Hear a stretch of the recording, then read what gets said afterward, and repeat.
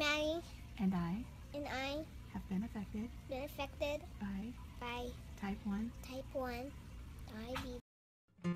Type 1 diabetes has impacted my life.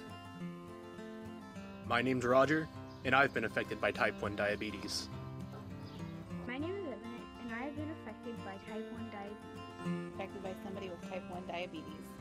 and I've been affected by type 1 diabetes. been affected by type 1 diabetes. And I've been affected by type 1 diabetes. I'm Hillary, and I have been affected by type 1 diabetes. I'm Tom, and I've been affected by type 1 diabetes.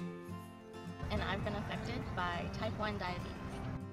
Hello, everybody. Today we talk about our loved ones, how they're affected, what they've learned, and what advice they can offer to newly diagnosed type 1 diabetics.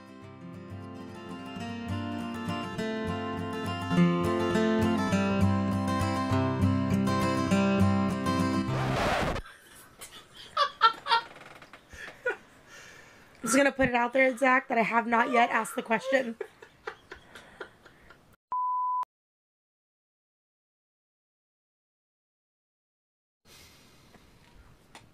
I think the first thing that I would say that we learned is the eating.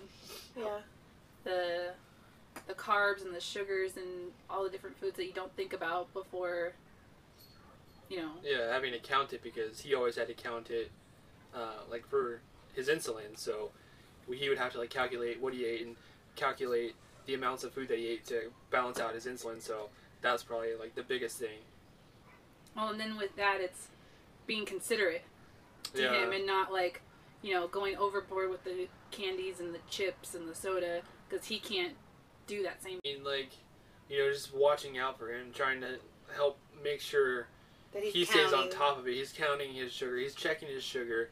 He's doing the shots when he needs to do his shots. Because when he doesn't do his shots, he's a jerk.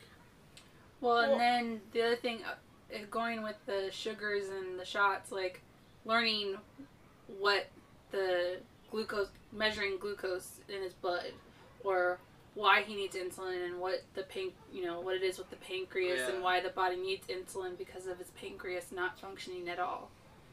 And having to learn, I think the other big thing too is having to learn the signs of when the sugar was high or when it was low.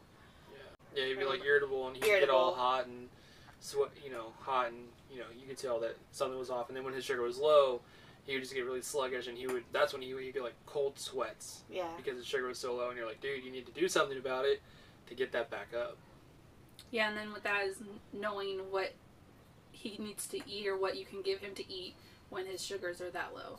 Like get him a spoon of peanut butter or a juice box or Or what he like needs to do Yeah. when they're high, like get him water, Insulin. insulin, Yeah. Insulin making sure he's checking his sugar right away as soon as you notice that he's off.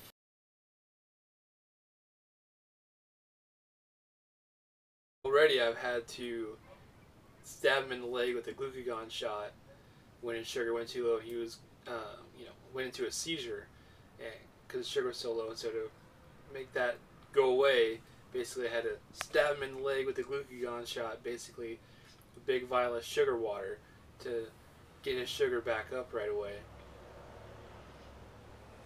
My fear would be that happening again Yeah. and having to do that. Or the other thing aside from diabetic seizures is the possibility of, you know, his extremities.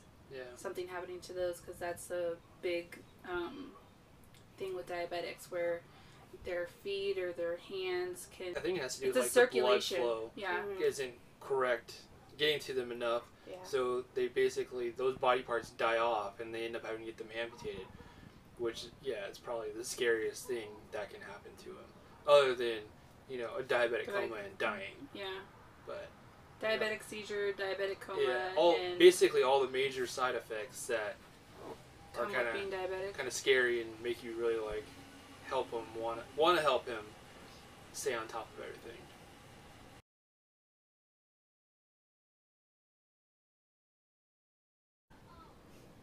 I don't feel like I did. No, I I think for us it was more he got the attention because he was the baby, not because he was a diabetic. Like seriously though, like he was. the Yeah, it was never he was a mama's thing- little boy. It never had anything to do with him being diabetic. Yeah, he got a little more attention. I, yeah, I because think he he got needed it. He got but we more understood attention that. because of that. But I don't think I did, just because I'm so much older than he is. So Yeah, I I, was I like- never felt that way. no, I mean he always got more attention, not more attention, but he always got like special treatment sometimes, so to say. Yeah, but like it if, was, if it it came was- down to like getting in trouble, oh it's Zach. Well, yeah, But- because he was the baby. It didn't Yeah. have anything to do with him being a diabetic. Our our attention, The, the attention, parental us, attention, was had nothing to do with him being diabetic. Yeah. yeah, we still all did our thing. I still got, you know, I still got rides to all my baseball practices, all my baseball games. Hill got where she needed to be. Naomi was too old, so she took I just herself took you everywhere. guys She- everywhere. yeah, she was usually the one who had to step in and help, you know, help the parents out and get us to where we need to go. So I, I don't think we ever I felt any kind of Yeah. lack of attention or anything. Yeah, I think our attention was pretty well Yeah. rounded for all of us. I think mom was pretty good about that. Yeah. Always.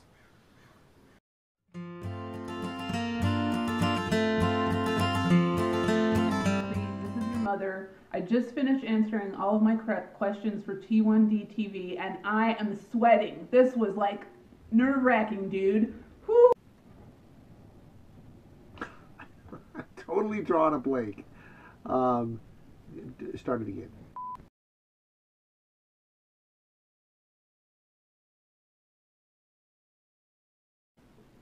Uh, my biggest fear has always been not providing uh, my child with the right tools to take care of himself and for his long term care to be able to have the information and the tools um, as he grows into an adult to not have any complications.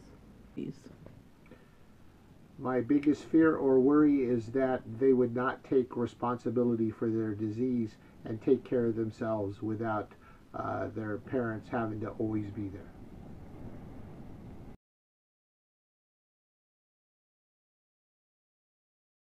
Well, the struggles for a parent with a child with type 1 di- diabetes are many. Uh, struggles with food, struggles with attitudes, struggles with shots, um, and they are ongoing struggles which you deal with uh, in different areas at different times. So one day you're arguing about food, maybe next day you're arguing about a shot, maybe next day you're arguing about how much insulin are you doing. I would say the biggest struggles for our family happened during the teen years um, because there was a lot of rebellion on I'm you know I'm I don't know everything as the parent but my child does know everything so he should be able to do what he wants but your child still needs your guidance all along the way all the way into adulthood they always need you Constantly having to be after them to take care of themselves and to pay attention to what they're doing and not rely on the insulin, but to try to uh, watch what they're eating.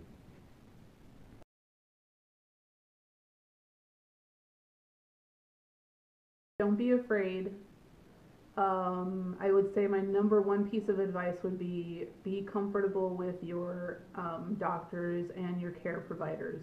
If for any reason you're not comfortable with them, um, find a new one because the level of care that this doctor or dietitian or nutritionist is giving your child um, stays with your family for a long time. So you need to be comfortable with that care provider and just know that you're not the only one going through the struggles you're going through in the first few weeks of uh, being newly diagnosed, and that you will come out on the other side okay, and that everything will work out fine for your child.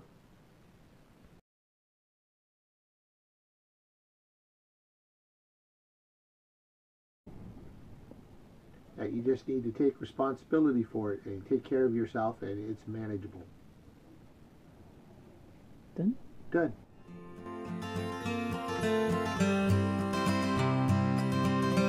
Did I not answer right? No, you answered it perfect. I'm just going on to the next question. Oh, okay.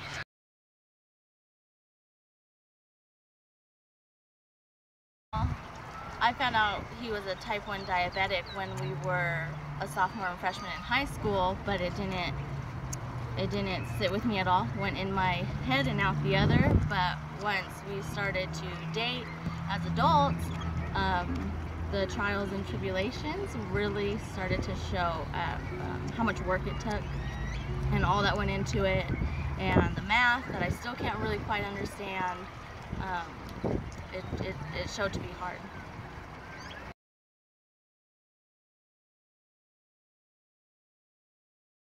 With a low blood sugar, uh, it's, it's cold sweats, and it's cold sweats in very weird places. When you start to see, you know, sweat on the thigh for no reason, and sweat on the hands or the forearms, I mean, those are odd places. So right there's a, a big signal, or if someone says something and they take it real personal, more than what's expected, you know, that sensitivity, that also follows a low blood sugar.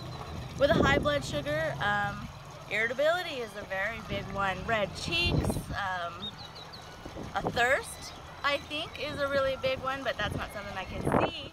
But um, confusion in arguments or situations, just trying to get out what they want from their brain to their mouth sometimes is just hard for them to, to do.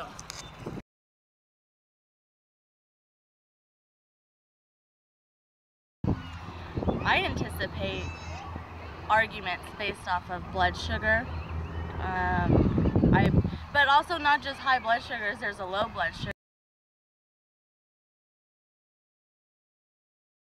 It looks like the body is completely shutting down completely. I guess that's what it is, but um, you know, it's like his clothes would be drenched. Put on a light gray shirt, it would turn it to a dark gray color just from that's how much sweat that was shown. And I had a lack of control. He had a lack of control, and it, it's with my lack of experience in diabetes. I, I never knew what to do. I wanted to call his mom or call an ambulance, but I wanted to trust my at the time boyfriend's word and saying don't call them or no it's not needed and you know here I am listening to someone who who whose body is shutting down but yet I want to listen to him because he's an adult he knows his body but the fear is overwhelming I you don't if you don't have the experience if you don't know what to do if you don't know how to handle it what signs to look for then the fear is overwhelming and sometimes it's it's it feels a little crippling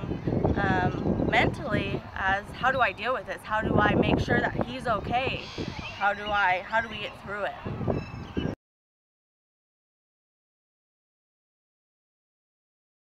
To do.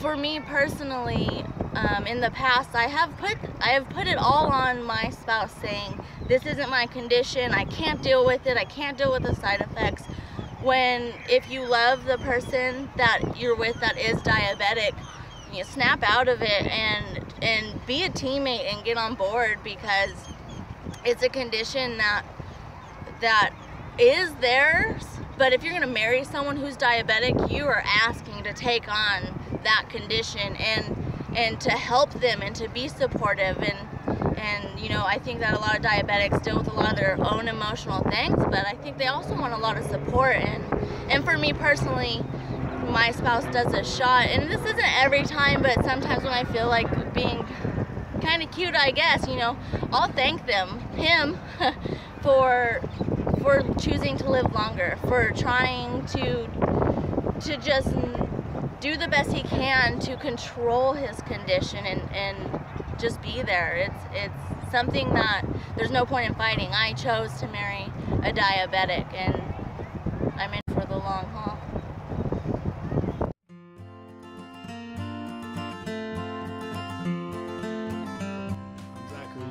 And these are just some of my loved ones who have been influenced by my type 1 diabetes.